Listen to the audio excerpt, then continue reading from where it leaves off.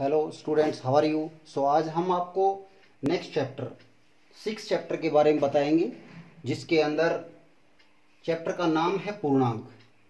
इस बारे में आप पहले से ही परिचित हैं, क्योंकि आपने बेसिक कंसेप्ट के अंदर ये सभी चीज़ें पढ़ी हुई है। आज हम इसका थोड़ा विस्तार से वर्णन करेंगे। इससे पहले आपने केवल डेसिमल या प्राकृत संख्या, पूर्ण संख्या अभाज्य संख्या, भाज्य संख्या, इन सभी के बारे में आपने अच्छी तरह से रीड किया है। तो सबसे पहले हम प्राकृत संख्या के बारे में देखेंगे कि प्राकृत संख्या क्या होती है। इस बारे में आप भली बात जाते, जानते हैं कि प्राकृत संख्या हमारी जो गिनती है, वह संख्या जो एक, दो, तीन, चार, पाँच से इस प्रकार की जो संख्या होती है, यानी कि एक से शुरू होती है और अनंत तक चलती है, वो हमारी प्राकृत संख्या होती है, पूर्ण संख्या। जैसे इसी में यदि हम देख, एक, दो, तीन, इस प्रकार से और पूर्ण संख्या होती है, ज़ीरो, एक, दो, तीन। ये आपकी हो गई। पूर्णांक संख्या जो हमारी होती है, जिसके बारे में हम आज वर्णन करेंगे ये वह संख्या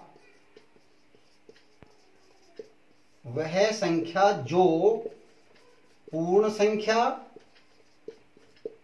और पूर्ण संख्या और ऋणात्मक।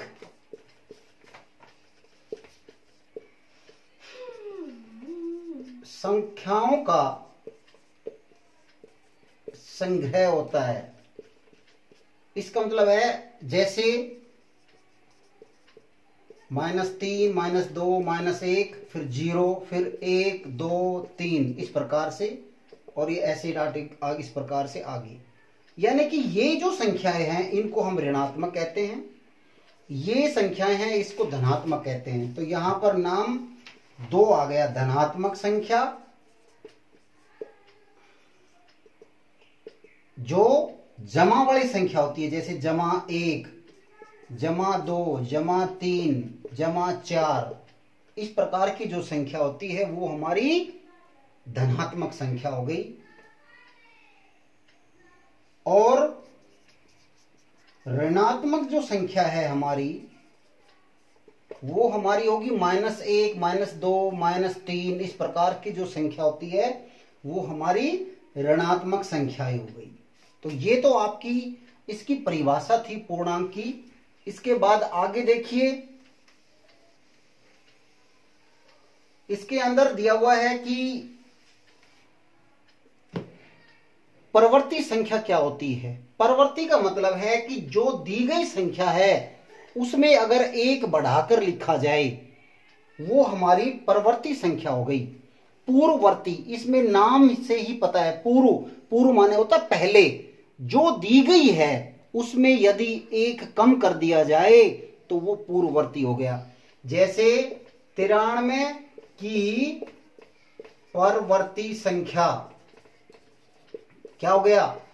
तिरानवे में एक जोड़ देंगे, चौरानवे। ये आपकी हो गई। ये आपका परवर्ती संख्या हो गई। इसको आप सक्सेसर भी कह देते हैं। सक्सेसर कहते हैं इंग्लिश के अंदर।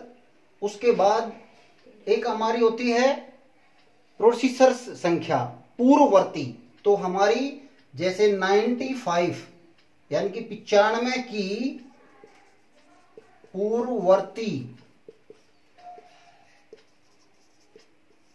संख्या तो पिचानवे में से एक घटा देंगे चौरानवे। तो ये आपकी, इसको आप कहते हैं प्रोसीसर संख्या। क्या कहेंगे? प्रोसीसर संख्या। ठीक है? तो ये इस प्रकार से इसका यूज़ किया जाएगा। आगे देखिए, संख्या रेखा पर निरूपण करना।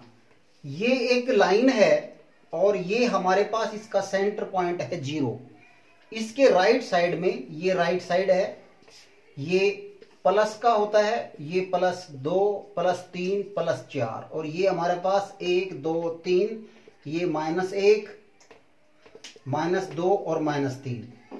संख्या रेखा पर निरूपण करना है। अब जैसे आ जाए टू, दो दशमलव पाँच, क्या आ गया? दो दशमलव पाँच को संख्या रेखा पर निरूपण करना है। तो ये सबसे पहले तो जमा का है। तो दो ये हो गया और तीन ये हो गया। और पाँच का मतलब है दो और तीन का आधा। तो इसका मतलब है ये पॉइंट तो यहाँ पर ये जो पॉइंट है, ये टू दस यानी कि दो दशमलव पाँच या टू पॉइंट फाइव हो गया। अगर माइनस का आ जाए, मान लीजिए, दो दशमलव आठ माइनस का है, इसको अगर आप रिप्रेजेंट करेंगे तो कैसे करेंगे? दो तो ये पूरा, इसका आधा करेंगे तो पाँच। सॉरी और ये छ सात और आठ, लगभग ये ये जो है, लाइन ये माइनस के दो दशमलव आठ को रिप्रेजेंट करती है। यानी कि ये ज़ीरो जो है, ये ज़ीरो है, इसके लेफ़्ट साइड में अगर आप चलेंगे तो हमारी नेगेटिव टर्म होगी और राइट साइड में यदि आप चलेंगे तो पॉजिटिव टर्म्स होगी। वो पूछ सकता है कि तीन के राइट में कितना है तो आप इसमें घटा दो आ गया। अब वो पूछ सकता है कि जमा दो के लेफ़्ट में क्या है तो लेफ़्ट इधर आएगा तो हमारे पास जमा का एक। पूछ सकता है कि घटा दो, जमा के दो हैं, क्या उसके लेफ़्ट में घटा का दो होगा तो लिखेंगे यस क्योंकि ये इधर लेफ़्ट है इसका, और ये इसका राइट हो गया। ठीक है? इस प्रकार से इसका संख्या रेखा में निरूपण हो गया। ये ये दोनों आपका ये कंप्लीट हो गया है। अब इसके बाद में इसमें क्या करना है कि ग्रेटर देन और लेस देन इसमें आप सिंपल सी बात है, ये पाँच है और ये तीन है, और ये ऐसे बॉक्स है। तो पाँच बड़ा है किससे? तीन से। तो आप इस प्रकार से करेंगे निशान। यानी कि जो है पाँच जो है वो तीन से बड़ा हो गया। और छोटा होगा तो इस प्रकार से निशान आ जाएगा। ये छोटा होगा। ठीक है? ये इस प्रकार से इसके निशान निरूपित करने हैं। एक कुछ डिस्टेंस क्या है? इसमें ये बताया गया है कि जैसे अपोजिट और उसके उस प्रकार, जैसे पूर्व पूर्व का विपरीत क्या होगा? पश्चिम होगा। तो इसमें 6.1 जो एक्सरसाइज है, उसमें इसी प्रकार से बताया गया है। आप इस, एक बार इनको अच्छी तरह से आप पढ़ेंगे और इनकी बेसिक चीज़ें हैं वो याद करेंगे। और उसके बाद नेक्स्ट वीडियो में 6.1 एक्सरसाइज आपको करवाई जाएगी। Thank you have a nice day bye bye